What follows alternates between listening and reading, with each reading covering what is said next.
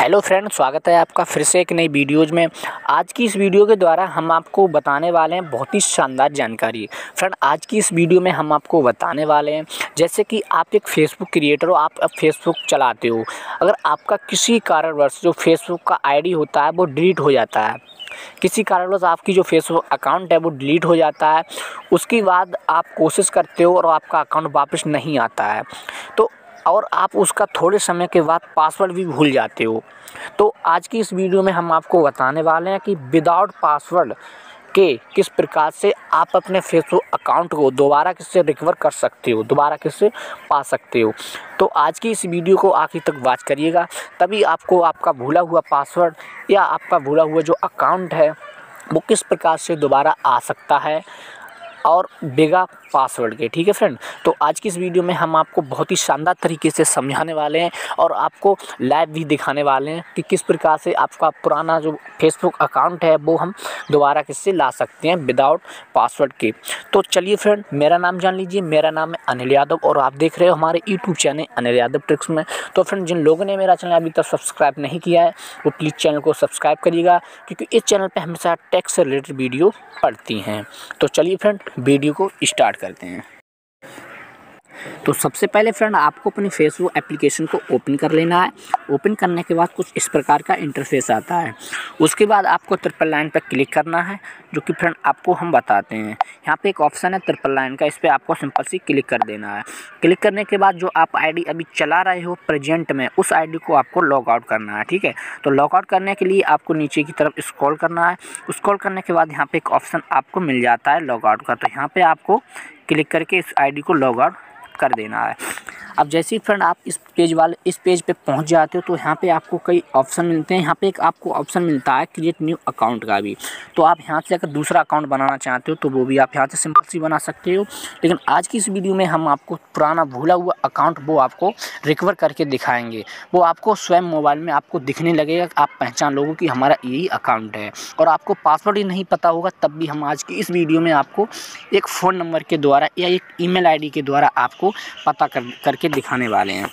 तो सबसे पहले आपको यहाँ पर फाइंड योर अकाउंट इस पर आपको क्लिक करना है, ठीक है फ्रेंड फाइंड योर अकाउंट इस पर आपको क्लिक करना है। तो जैसे ही हम फ्रेंड क्लिक कर देते हैं क्लिक करने के बाद अब आपको यहाँ पर कुछ समय के बाद कुछ इस प्रकार का इंटरफेस आता है। ठीक है फ्रेंड अब आपको अगर जो आपका अकाउंट है, पहले तो आप इस बात से ध्यान दें, अगर आपको जीमेल आईडी पता है, किसी भी फेसबुक ऐप में अकाउंट में आपने कोई जीमेल आईडी लगाई तो आप वो यहाँ पे जीमेल आईडी भी डाल सकते हैं। ठीक है फ्रेंड अगर आपने जी मेल आई अगर आपको नहीं पता है तो आप सिंपल सी एक फ़ोन नंबर डालिए।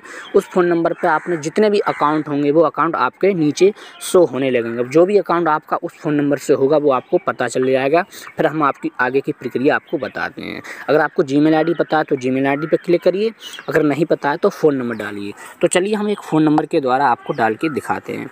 तो यहाँ पर हम अपने फ़ोन नंबर को सेलेक्ट करते हैं। फ़ोन नंबर को डालते हैं। उसके बाद आगे की प्रक्रिया आपको बताते हैं, ठीक तो देखिए फ्रेंड यहाँ पे हमने अपना फ़ोन नंबर सेलेक्ट कर लिया है।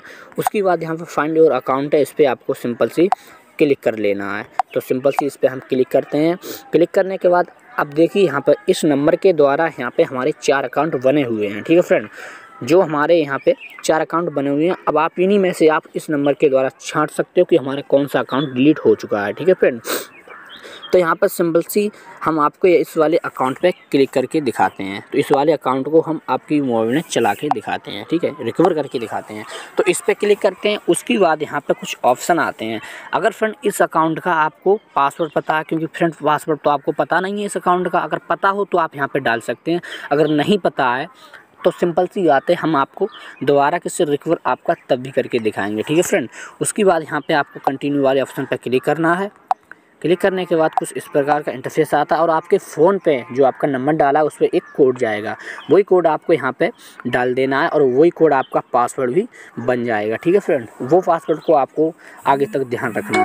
तो देखिए, यहाँ पर सिंपल सी हमारा एक पासवर्ड आ चुका है, जो हमने अपनी फ़ोन नंबर डाला था, वो पासवर्ड यहाँ पर आ चुका है, ठीक अब इस पासवर्ड को हम कॉपी कर लेते हैं।